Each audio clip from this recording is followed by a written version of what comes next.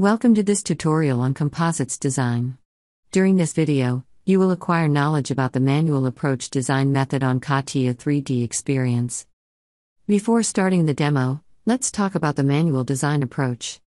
The manual design approach is the simplest approach within 3D experience composites. This approach is typically used when design complexity is low, meaning a small number of plies, ply drop offs are minimal, etc. For this approach, the user defines each ply manually using contours and support surface. For this tutorial, we will use this geometry, an engine part. Download the file attached to this tutorial, and save it on your computer, in a directory of your choice. By the end of this tutorial, you will be able to log into 3D Experience and prepare the environment, define composites parameters, create plies group and plies, view plies sections, modify plies geometry, and finally, manage plies. Let's get started. First of all, you have to log into the 3D Experience platform. Open the 3D Experience login window and put your ID and your password. Then, click on Login. Once you have logged in, click on the compass and search in the search bar for the Composites Design application. Launch it.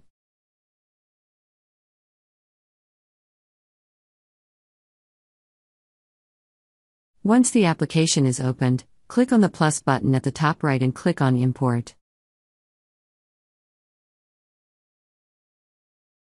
Import the file named frame underscore engine.3dxml that you put in the directory of your choice, and as soon as the import is complete, press Ctrl plus O to open the part, or right click on the 3D part, and click on Open. Ensure that the part is open in the Composites Design application. Before starting composites design, it is important to define the parameters of the composite. Composite parameters play an important role in composites design. The composite parameters must be defined before proceeding with the composites design. The composite design commands are only active after the composite parameters have been created. First, let's add materials to composites parameters. In the 3D Experience platform, Materials are objects containing the properties of the associated materials. A material consists of a default set of properties and domain definitions that are used to determine the material related characteristics. You can create new material or import an existing one. Composite design starts with material definition. All material data is created, stored, and accessed on the 3D Experience platform. All composite models require at least one defined material. Users can easily add, edit, or remove material properties from the material database. If editing material properties, these changes will propagate to all referenced models. In our case, we will import existing materials. Import the cpd underscore htm21.3dxml file that you put in the directory of your choice. It contains the material we will use in this tutorial. On the Grid Design tab of the action bar, click on the Composites Parameters icon. You can also use the Composites Parameters icon on the Grid Design and the Zones Design tabs. In the Materials tab, click on Add Material. Select from Database icon and search for CPD underscore HT21. In the search window results, select CPD underscore HT21.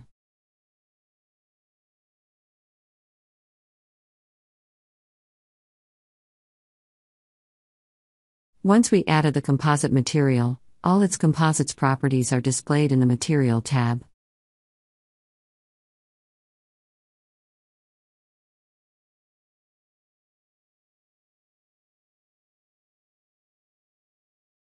Now, let's edit the fiber directions. The material directions are the predefined parameters that indicate the fiber direction of the plies. Each direction is associated with a color. If required, you can add, edit, or remove directions.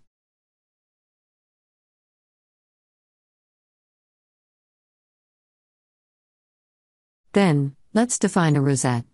A rosette is a graphical representation of fiber orientations. It defines the referential in which the fiber direction of plies will be defined. It is computed from a 3D axis system to a given location on a surface. The x direction of the axis system represents 0 degrees fiber orientation, and the y direction represents 90 degrees fiber orientation. In the Rosette tab, click on Add Rosettes. In the Rosette Definition dialog box, specify the axis system. The reference axis system for the rosette is already provided under the axis system node in the tree. A rosette has associated transfer types. A rosette transfer type is a method to compute a rosette from an axis system. The following methods are available. First, with a Cartesian method, the rosette is computed using the Cartesian coordinates. Then, with the 0 degrees guided by curve method, the 0 degrees direction is tangent to the selected guide curve at the projected point, where the rosette is to be transferred. Furthermore, with the 90 degrees guided by curve method, the 90 degrees direction is tangent to the selected guide curve at the projected point, where the rosette is to be transferred. Finally, with the external method, the rosette can be developed externally and selected from the list. The Edit button allows you to select the inputs such as curves or parameters to define the rosette if required. In our tutorial, we will use the Cartesian method. So, select the transfer type as Cartesian and specify the constant model size as 3 mm. Click on Preview Rosette Transfer to display the rosette behavior on the selected surface. You can adjust the density using the slider.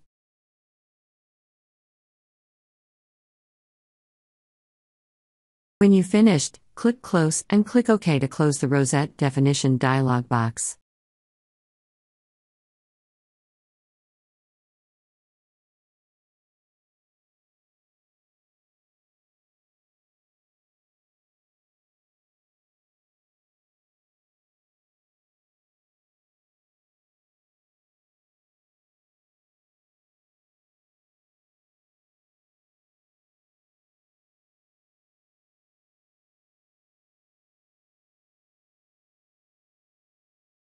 The first step of this tutorial will be to create a plies group and plies. A plies group is a feature containing the plies and sequences that will be created during the composites design process. It is a good practice to structure the plies data into plies groups. A plies group contains the plies which are sharing the same support surface. A new plies group must be created whenever a new support surface is used. In the plies design section of the action bar, click on the plies group icon. The name of the plies group is automatically populated, which you can rename later based on your requirement. Also, observe that the stacking feature is generated in the tree. Select the base surface. The draping direction is displayed in the geometry area. It indicates the direction in which the plies will be laid on the surface. This direction is driven by the positive normal direction of the joined surface. The rosette is automatically populated in the panel. Click OK. A plies group has now been created.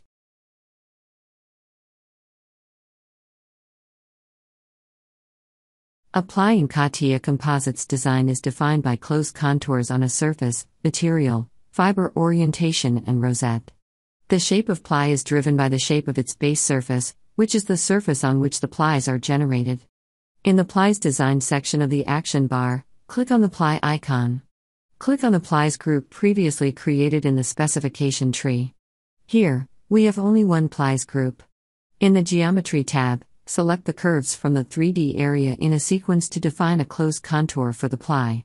A green tick mark indicates that the ply contour is closed. If the contour is open, a red cross will appear. In the Attributes tab, select the material, direction, and rosette. The drop down lists for material, direction, and rosette display only those attributes that are defined in composites parameters. Click OK. A ply is created and the plies group node is updated in the specification tree with a sequence and a ply for that sequence. The ply contour is also displayed in the geometry area and the color of the ply boundary is driven by the directions defined for it. Now, we will create multiple plies. Generally, manual plies are created one by one, by defining the contour and the attributes manually for each ply.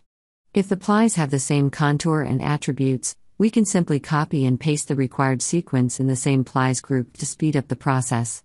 Using the copy paste option of the action bar, create seven more sequences and plies.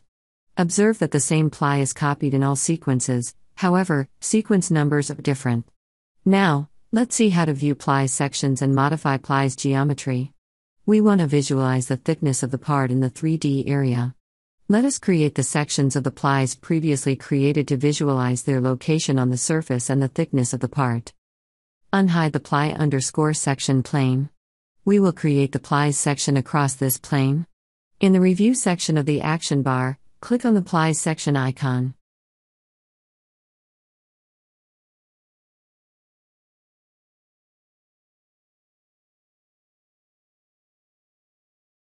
Ensure that the complete stacking option is selected, and select the section plane.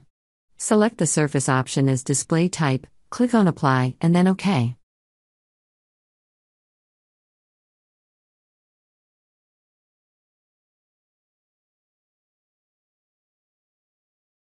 Zoom in the Parts section to have a better understanding of plies positions on the surface. You can select the ply sections in the specification tree and relate their positions in the 3D area. Observe that the first ply is lying immediately on the surface and the second ply lies on the first ply. Similarly, the last ply created in the specification tree is at the farthest position from the surface. Since we created all the plies by copy pasting the first ply, they have the same geometry. Now, we will modify the ply geometry for the middle ply. It is always recommended for a composite designer to respect some basic rules while creating plies. One such rule is to have bigger size plies at both the ends of the stacking while the small size plies should be at the middle level, maintaining a smooth and steady drop off. In the plies design section of the action bar, click on the limit contour icon. Select sequence.3 to sequence.6 as entities to be trimmed.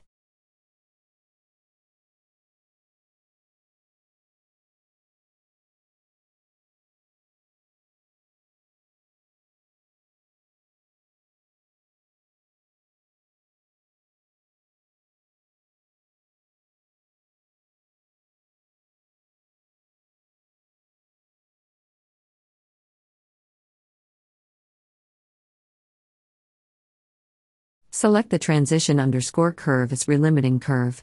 Selecting the relimiting curve will highlight the curve in the geometry areas along with the limiting direction. This direction indicates the side of the curves on which the ply material will remain. Select the multi-selection icon and specify the staggering value of 3 mm. This value indicates the distance between two successive cut plies. The green arrow on the curve indicates curve orientation and the triangle indicates a staggering direction. You can reverse their directions by using the invert button. Select the parallel mode option and click on Apply. Performing any operation on created plies will update the plies sections automatically. Observe that the contours of trimmed plies are updated in 3D areas.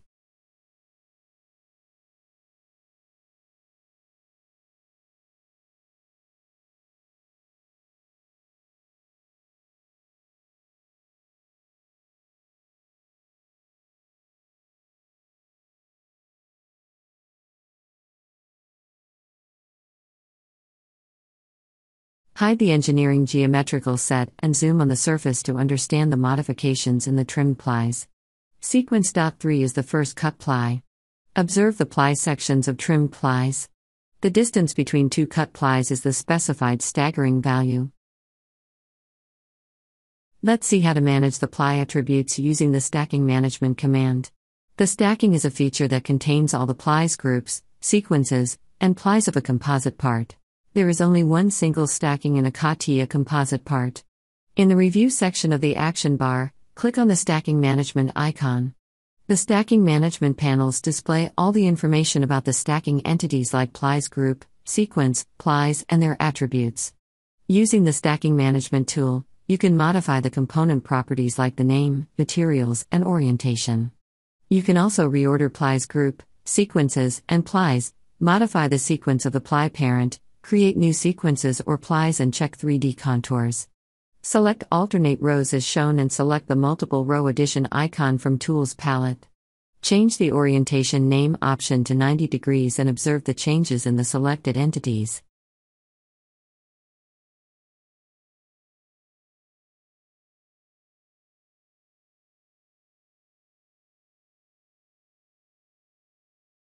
Select the sequence option as entity level and select all rows. Then, select the multiple row edition icon again and rename all the sequences as shown. Observe that names are changed for all sequences.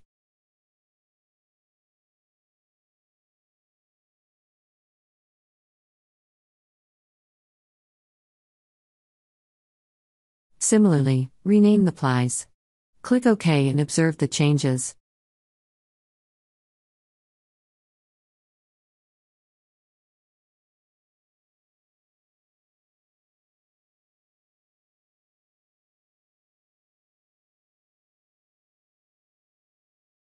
After the plies definition has been completed with stacking management, the part is fully designed. It would now be helpful to have information about the part such as area, volume, mass, center of gravity, and cost when the material information is available. In the Review section of the action bar, click on the numerical analysis icon.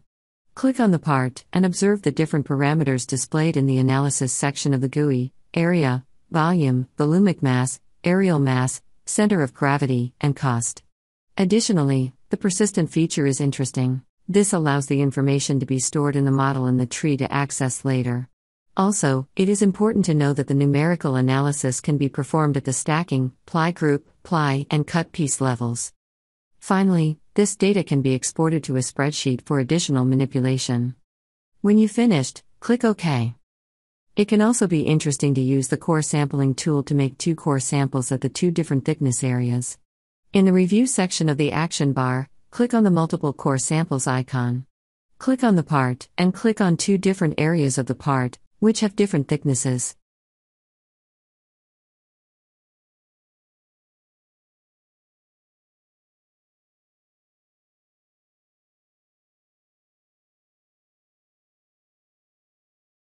Observe that the two core samples created have different thicknesses and a different number of plies. When you finished, click on Apply and then click OK. Observe in the specification tree the two core samples that you just created.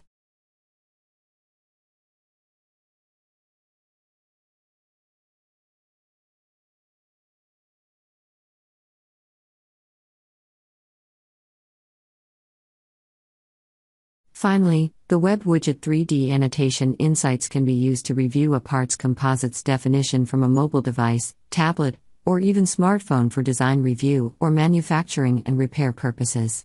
Click on the compass and search in the search bar for the 3D Annotation Insights application. Launch it.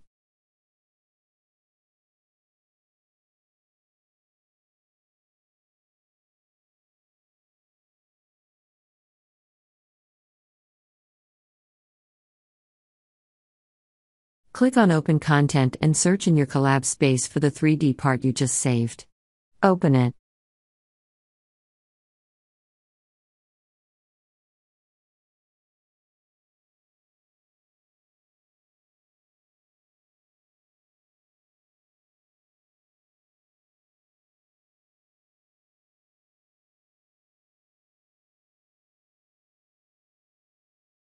Explore the different options of the application. You can have a visual representation of the plies, as well as the important information about the two core samples you created, as well as all the information about all the plies.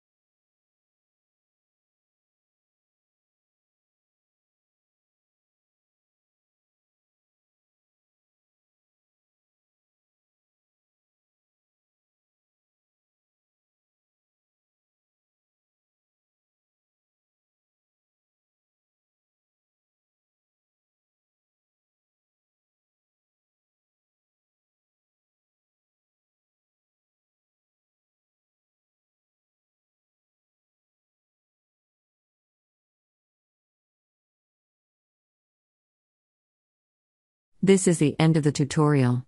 In this video, we learned how to log into 3D Experience and prepare the environment, define composites parameters, create plies group and plies, view plies sections and modify plies geometry, and finally, manage plies.